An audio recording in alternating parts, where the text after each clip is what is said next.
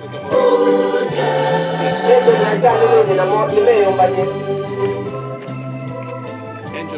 be sealed with the gift of the Holy Spirit.